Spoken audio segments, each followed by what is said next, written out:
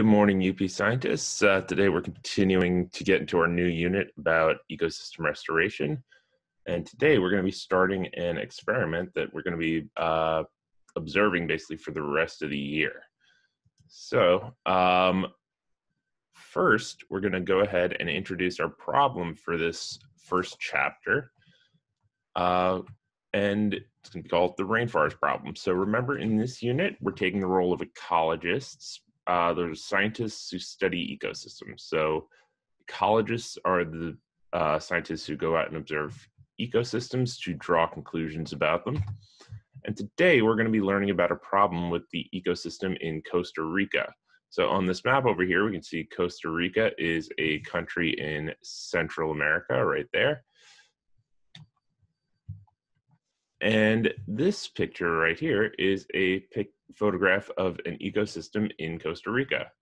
So, um, thinking back to Friday's lesson, what kind of ecosystem do you think this is? And what organisms do you think might live here? So go ahead and answer that one. Box off to the right. So in the Costa Rican uh, so a lot of Costa Rica is a rainforest ecosystem, and here are some of the types of organisms that live there. You have jaguars, you have the three-toed sloth, um, lots of uh, small creatures like insects, millipedes. The uh, this is a special type of tree that grows there, the Cecropia tree. And the soil isn't um, exactly alive, but it does contain a lot of living things and is definitely going to be an important thing for our ecosystem. So, how do you think these different things might interact with each other? It's another one we're going to have you go ahead and answer right here. Okay, so we're going to take on the role of ecologists working for the National Resources Rescue, Natural Resources Rescue, and it's a group that works to protect and save fragile ecosystems around the world. So even though just like uh, Good Food Production Incorporated and the Museum of Archaeology, this isn't a real organization, there are a lot of groups that uh, just like this one that do a lot of work in the real world to save ecosystems. So, um, so off the top of my head, uh, there's like World Wildlife Fund, um, and there are a bunch of uh, organizations specifically geared towards saving the rainforests.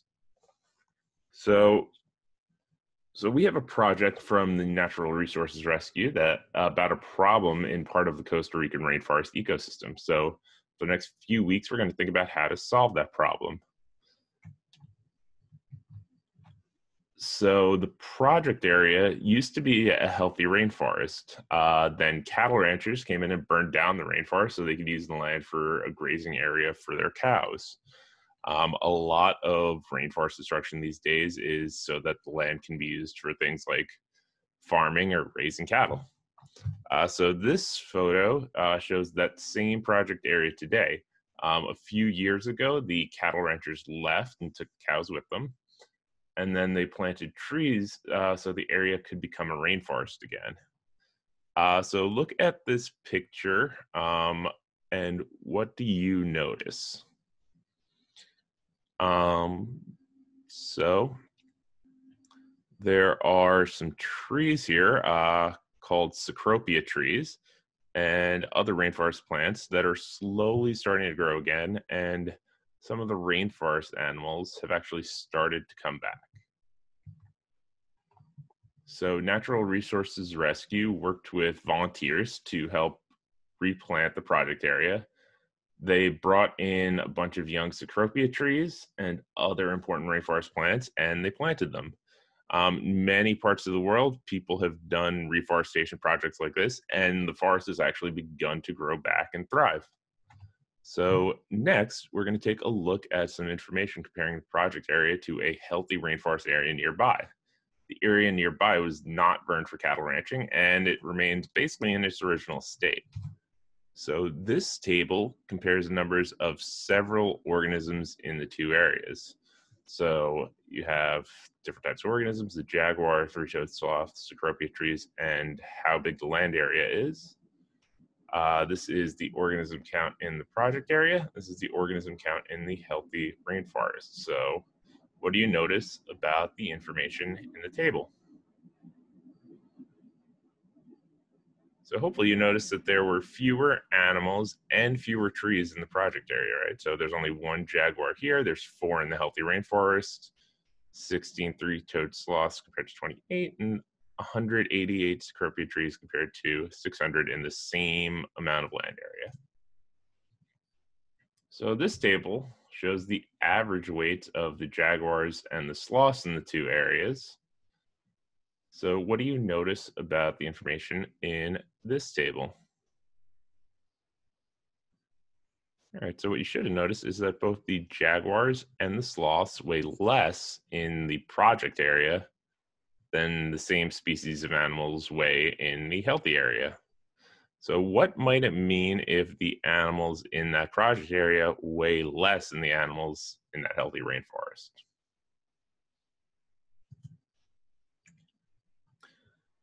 Okay, so our goal here is going to be to restore that project area.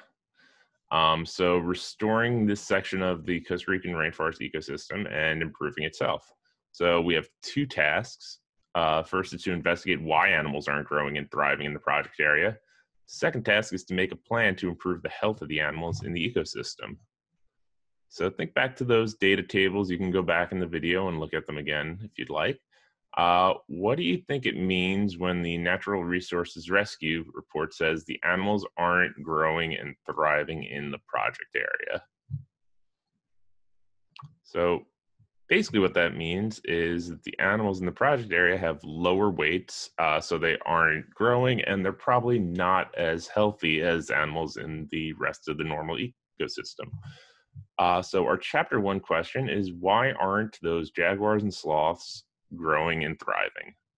And this is the question that we're going to be exploring throughout the rest of chapter one as in a role as ecologists for Natural Resources Rescue. So what we're going to do next um, is actually setting up something called a terrarium.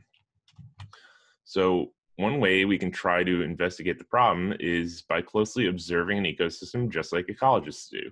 So we can't bring rainforests into our classroom, or in this case, into our homes, but uh, we can create some models. So a terrarium is a small scale model of an ecosystem. And just like we did for planets and like we did for molecules, we scientists all the time learn about the real world by setting up models. So we're going to make ter- those terrariums as a way to think about ecosystems that we can't observe directly. So we're going to use these materials to make our, our terrariums. Uh, so we have this box that the terrarium is going to be in. It has some holes in the top to let air and water in and out. Uh, there's going to be some leaf litter. Uh, mine doesn't look exactly like this. I just actually uh, grabbed some weeds off my balcony and chopped them up. Uh, it's and what the leaf litter does is it helps the soil maintain moisture a little better. Um, we're going to have alfalfa seeds, we have grass seeds, and we're going to have some uh, nutrient rich soil. So, if we were doing this in class, uh, basically each group would have its own terrarium that it could set up. Uh, but fortunately, I don't have the space in my apartment to set up eight terrariums, so I only took home three of them. So uh, we're going to have a little bit less variety than we probably would have in class. Um, but this is these are the basic variables we're going to be changing. So, uh, so if we were doing this in class, each person would take a terrarium. Uh, each group, the soil monitor would take a terrarium uh, scoop four cups of soil into the container, uh, move the soil with their hands, and decide whether they wanted to make it a flat terrarium or a hilly landscape in that terrarium. Um, next, uh, we had two uh, people who were going to make decisions on the two different types of seeds. So there are going to be grass seeds and alfalfa seeds. We're going to either sprinkle them over a, uh, spread them out over the whole thing or put them all in one place. And we're just going to gently pat the seeds into the soil and making sure they stay near the surface. Then once the terrarium is set up, we're going to spray the soil with water uh, where the seeds were planted. I'm going to be adding about 30 sprays of water to each terrarium. And then we're going to distribute the leaf litter, uh, which remember is one of uh, helps the soil maintain moisture. We're going to spread it either over the whole thing or over just part of it. So this is kind of a summary of what we're going to see me doing in a minute here. So we're going to add soil, we're going to sprinkle the grass and alfalfa seeds, and then we're going to spray water and distribute leaf litter across the top.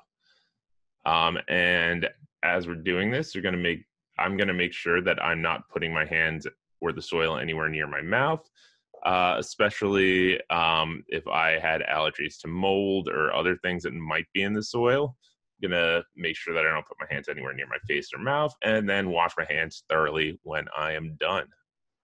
So the way that I'm gonna set it up now, um, like if we were in class again, we would have had like eight different terrariums at least, so we would have been able to hopefully see a lot more variety, and you guys would have been able to choose what you're doing with your terrarium.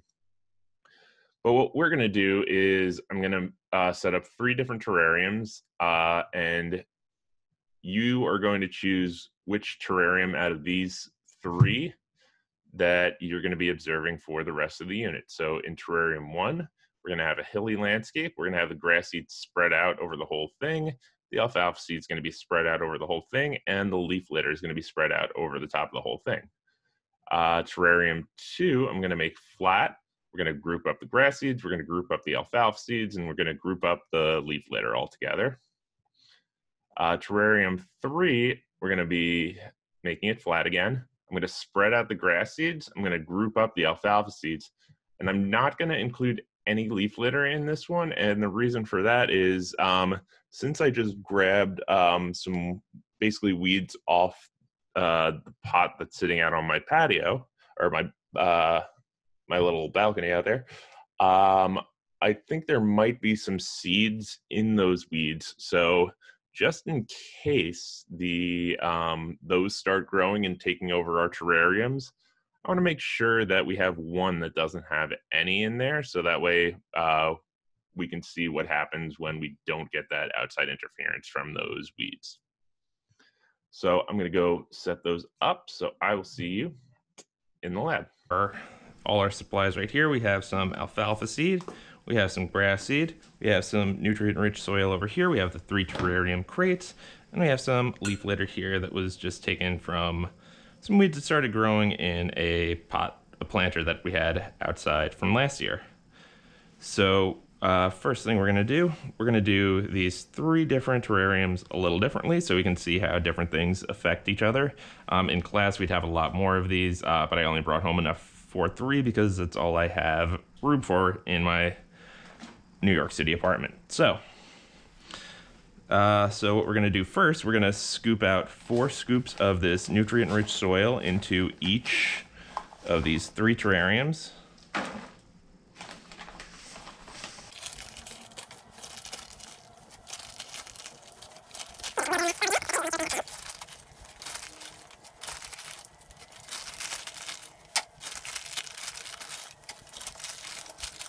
Didn't quite have enough to get uh, number one, all four scoops we wanted in there. So I'm just gonna take a little bit at a quarter scoop out of each of these so that we all have the same amount here.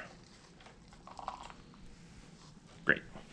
Okay, so that's done. So how are we gonna shape these? So number two and three, we're just gonna shape with our hands, make them nice and flat. So that's what we wanted to do in these two. Just gonna pat that soil down. And notice I'm not gonna be reaching my hands for my face at all. I'm not gonna be really touching anything except for the terrariums until I get a chance at the end of the experiment here to wash my hands. And number one, we're gonna make kind of hilly. So, see if we can get that. There we go. Okay, so see from the side, number one's kind of hilly, just like that. And number two and three, make it as flat as we possibly can, so they're level all the way around. Okay, so next, we're gonna take our grass seed, in number one, we're gonna spread it out.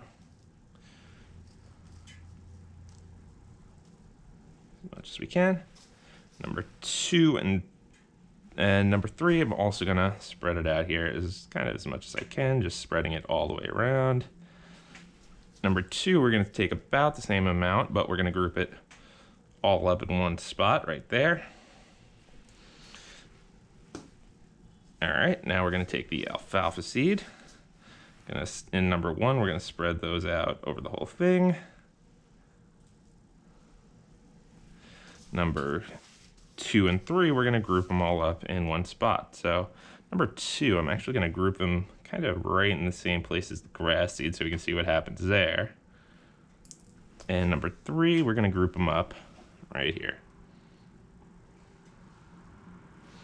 Okay, now we're gonna just pat these so they're in the soil but not too deep. So they should be right near the surface. Do the same for number three and number one.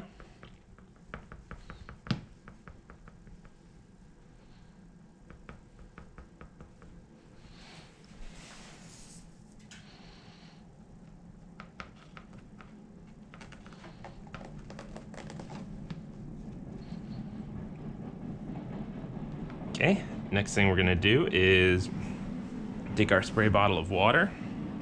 Make sure it's on. Okay, and then we're just gonna spray each of these about 30 times, so I'll definitely speed up the video here so that doesn't take so long.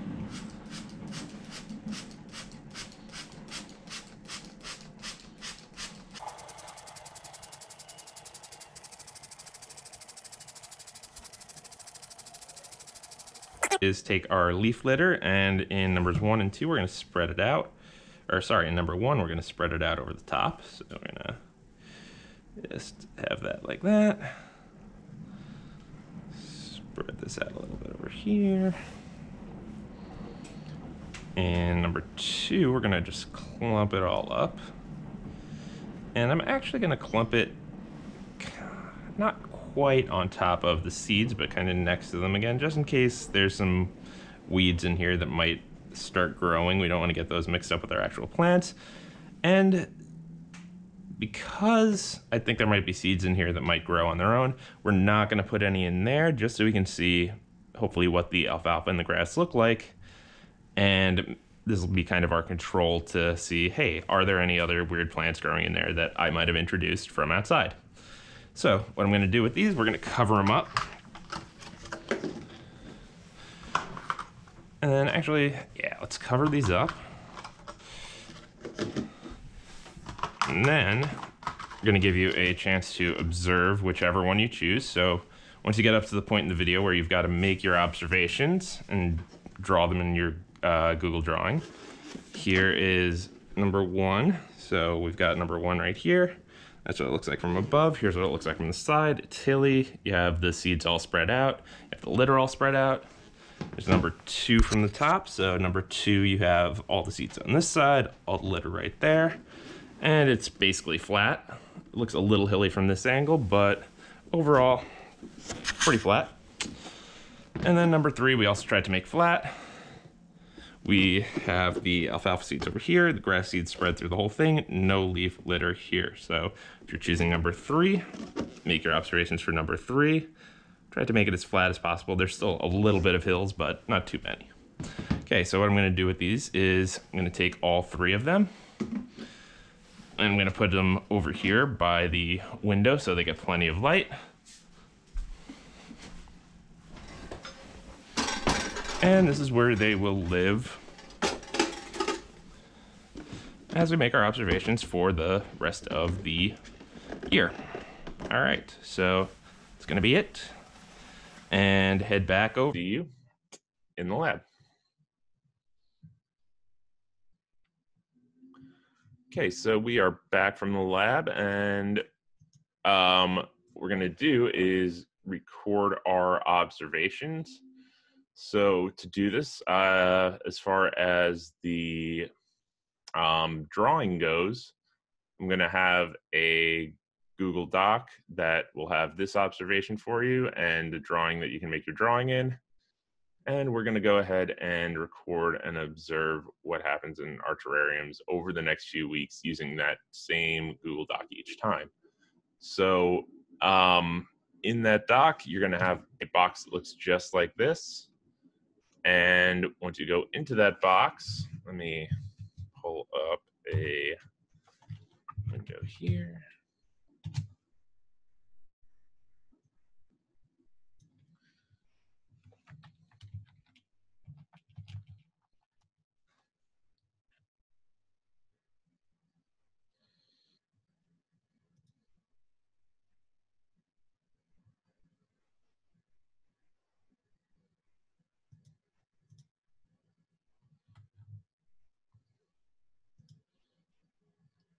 So in that box, what you'll do is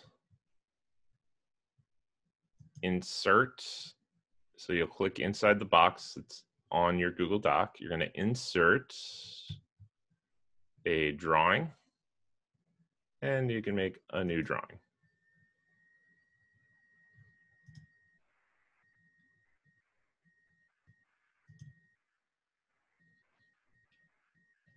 So this is going to be where you draw what you see for your terrarium. So you might want to start out with a shape. Um, see, our terrarium looks kind of like, see this one, except upside down. So here we go. This one looks about right. So if we draw that, there is our terrarium. We can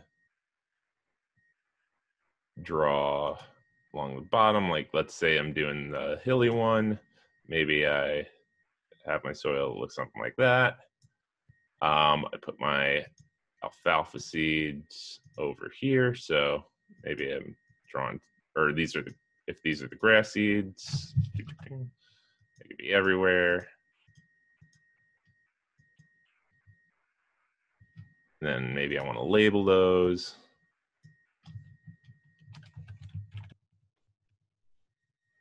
Maybe draw an arrow pointing down to them. All right, and you're just gonna draw exactly what you see in the terrarium. And in order to see that, you're gonna go ahead and you can go back in the video. Um, I'll try to include a picture of each of them here, but the best way to do it is to just go back into the video where I made the terrariums and draw what you see based on how everything's going in for whichever terrarium you are working on, whether it's one, two, or three. Remember, you just have to do one of them. Do not do all three of them. So after you've made your initial observation, you've drawn and labeled all the parts of the terrarium. Uh, at the bottom of that doc, you're going to make some predictions. What do you think uh, the terrarium is going to look like in a few days? What do you think it's going to look like in a in about a month. Um, and then uh, what I'm going to do is we're going to put all these in basically the same location. They're going to be next to each other on my windowsill. I'll show you where that is um, as I'm setting them up in the video. But it'll uh, they'll all get plenty of sunlight over there. Okay, so yeah, so as we're finishing up here, just want to see like what did we notice about our terrarium, whichever one you picked, and how is your terrarium different from an ecosystem in nature? And right before we close out, um, with the second activity, so we're just going to call back to this word observe. We're going to be observing a lot during this unit, just like we do in every unit. So to observe means to use any of your five senses to gather information about something. So when you were looking carefully at your terrariums, uh, you were doing something scientists do, which is observing or making observations. we observe the terrarium with our eyes, but we might also observe with our other senses like sense of smell, sense of hearing. Last uh, in the previous unit, we used our sense of taste to make some observations. And our final activity today is going to be observing ecosystems. So we're going to be practicing real quick what um, ecologists do by observing and discussing some scientific drawings of ecosystems. So the way it's going to work is I'm going to post the ecosystem, the picture of it, and you're going to make your observations right up here. So here is our